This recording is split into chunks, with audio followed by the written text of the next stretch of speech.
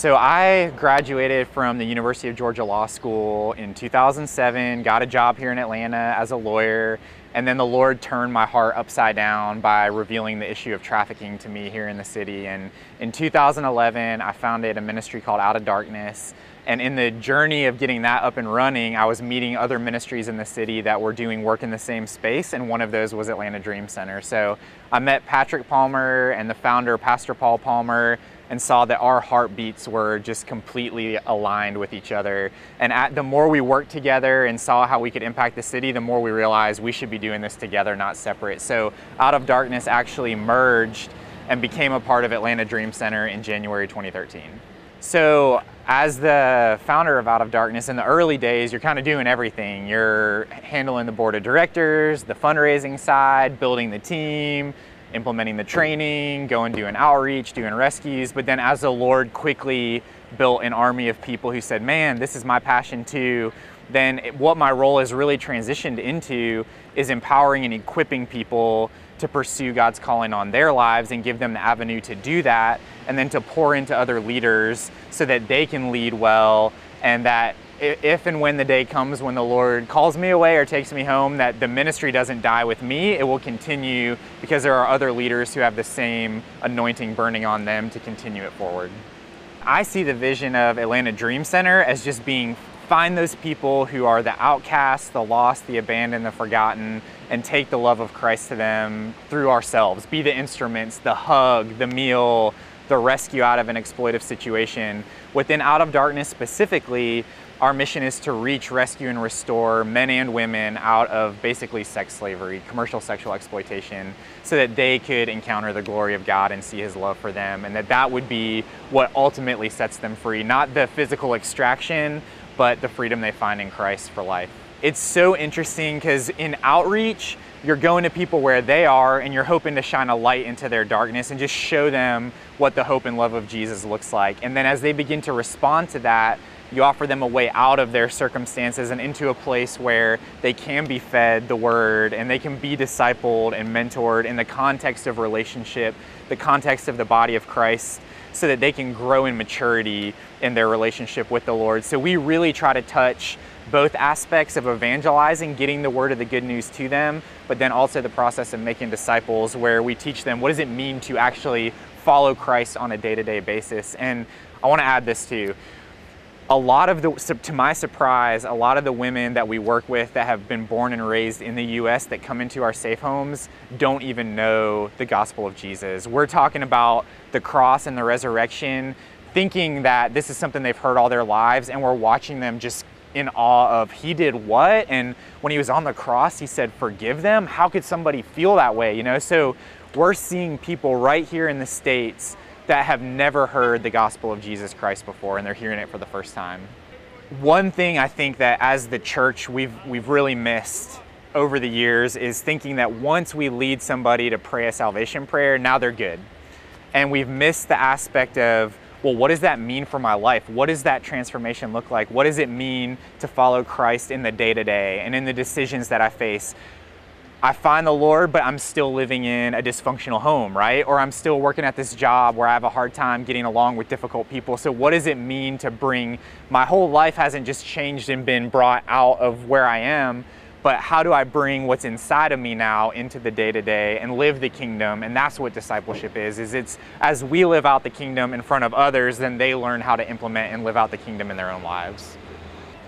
The Atlanta School of Ministry is a training ground where young people who say, I want to find out what it means to devote my whole life to Jesus in whatever place He may call me can come and they get teaching, they're in the Word, they're worshiping, they're praying, but they're also the hands and feet with us on the streets of Atlanta, doing the outreaches, the rescues, manning the hotline. And so as they're growing in their intimate walk with the Lord, we get a chance to pour into them and disciple them into what it looks like to follow His calling on their lives.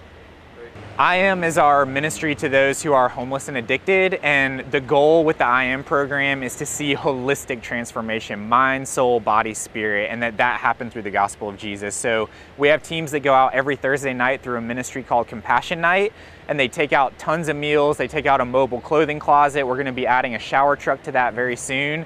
And along with meeting those physical needs, every single time we present the gospel of Jesus to them as well. And then we have people, oftentimes it is the students in our school of ministry who are prepared that if someone responds to the gospel, they connect with them one on one and then they begin that process of discipleship. We also have case managers that will help people who are looking to get out of their circumstances find placement in a long term Christ centered program where they can grow in the Lord, break free of addictions, and set a new course for their life. Metro Kids is what we would call the prevention arm of what we do. We always joke that the goal of Metro Kids is to put Out of Darkness and I Am Ministries out of business. If we can go upstream and keep at-risk youth from becoming homeless or exploited or addicted, then we don't have to rescue them anymore. We can affirm in them an identity in Christ at a young age that will help them avoid a lot of the pitfalls and vulnerabilities of those who have missed that opportunity that we're now having to rescue and restore. It sounds cliche, but I tell believers out there, whether you're in Atlanta or whether you're in some other part of the world and you're hearing this, you can absolutely pray. We may never meet you, you may never meet us, but we believe that intercession inclines the ear of God to the needs that we face day in and day out. Spiritual warfare, demonic possession and oppression, um, serious physical and mental illnesses, bondage, family dysfunction. Pray as the Holy Spirit leads you, and we trust that He will put His heart on your heart and that as you pray it will be for those specific needs that we face and you can see the impact and the harvest that's reaped through the prayers that you sow into what we're doing. So I think often about what Jesus said to pray to the Lord of the harvest to raise up laborers because the harvest is plentiful and the workers are few. We see that every single day. We have no shortage of people wanting help. We have no shortage of people needing mentorship and discipleship, but we lack the laborers to come alongside. And so whatever you do, if you're a mom, if you're a teacher, if you're a lawyer, a doctor, if you're a jan- whatever you do, there's a place for you in this ministry. There is a need for you and the gifts and the skills and the passions God's given you. So, atldreamcenter.com, get involved. We would love you plugged in and, and donating not your money, but your time to serve with us. Well, why I do what I do is simple. It's because God asked me to. And I remember when He burdened my heart with the issue of trafficking there was an invitation in that burden to say, God, I don't know what my place is, but will you show me? If you'll show me the role you have for me, I'll do it. And as soon as I invited him to do that, he showed me what my role was. And I hear that time and time again. A lot of times we don't know our place because we never ask him what he would have us to do. So when I asked the Lord, he said, I want you to do out of darkness. And my joy now, my passion every day is to wake up and put my feet to the floor and do what God's given me the ability and the passion to do. I want to just give an invitation to the body of Christ that sexual brokenness is inside of our house too. It's not just the people out in prostitution or trafficking, but we struggle with pornography, we struggle with lust and temptation outside of our marital relationships and premarital relationships. And it's something for years and years we haven't felt comfortable talking about, but I feel like we're in a season where God is saying, I want to lift the veil of shame let's start to have the conversation. I want to see not judgment and condemnation, but healing and restoration take place within the body of Christ. And so you may not identify with being trafficked or prostituted, but you may have your own sexual hurts or abuse or wounds or struggles that you face. And just know that the Lord wants to come in and minister to those places too. Hi, I'm Pastor Chuck Reich.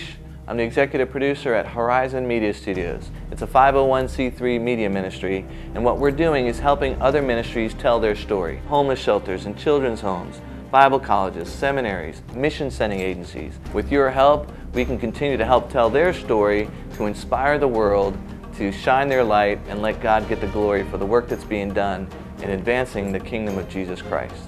Thanks again for praying for us.